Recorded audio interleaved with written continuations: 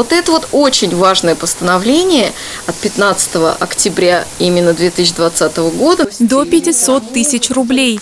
Штраф за продажу алкогольной продукции несовершеннолетнему, рассказывает майор внутренней службы. В центре внимания участников брифинга незаконный оборот алкогольной продукции. Контрафактный алкоголь – еще одна острая проблема. Первое, нужно обращать внимание на сам объект и необходимость наличия лицензии на продажу алкогольной продукции. А, не покупайте алкоголь, стоимость которого ниже нормы, установленной Минфином. Не приобретайте алкогольную продукцию в полимерной таре без маркировок и федеральных специальных марок, либо на разлив.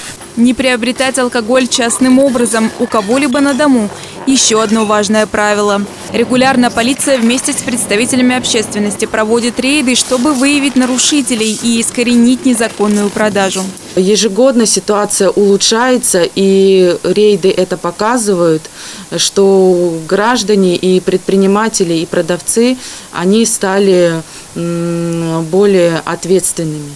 С октября 2020 года на территории Одинцовского округа действует постановление администрации, которое ограничивает розничную продажу алкоголя в определенных местах.